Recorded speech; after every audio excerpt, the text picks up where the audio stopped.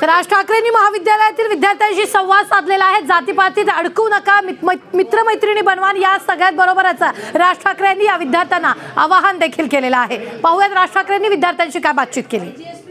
हातपाय थंड पडलेले असतात माझ्या हातापायाला घाम फुटलेला असतो. याचं एकमेव कारण म्हणजे मला माहीत नसतं काय बोलणार. कित्येकदा मी काही नोट्स पण काढून गेलोय. आणि त्या अशा पोडियमवरती लावल्या. ते सोडून सगळं बोललो आणि मला तुम्ही म्हणत असाल की बाबा काय हा काय भाषण करतो वगैरे वगैरे मला माहिती नाही मला असं वाटतं माझ्या कुलदैवतेची किंवा माझ्या पूर्वजांची आमच्या घरच्यांची ती कृपा असेल पण मला असं काही ठरवून मी कुठचं भाषण आजपर्यंत केलं नाही मला करता येत नाही. मी एक मोर्चा काढला होता आणि त्या मोर्चाच्या वेळेला मी पहिलं माझं भाषण केलं होतं. तो मोर्चा संपला आणि संपल्यावरती मला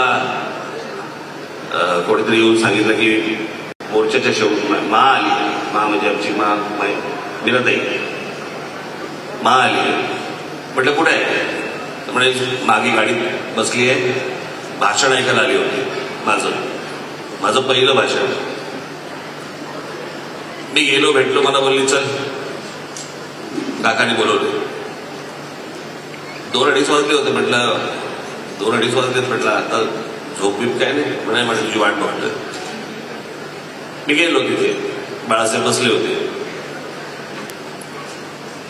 मला म्हणे बस ही गोष्ट आहे तुम्हाला सांगतो एक्क्याण्णव सालची. नाईन्टी वनची. मला म्हणे म्हणले बस. मी तुझं भाषण ऐकलं. आता एक्क्याण्णव साली मोबाईल फोन नाही काही नाही काही नाही म्हटलं भाषण कसं ऐकलं?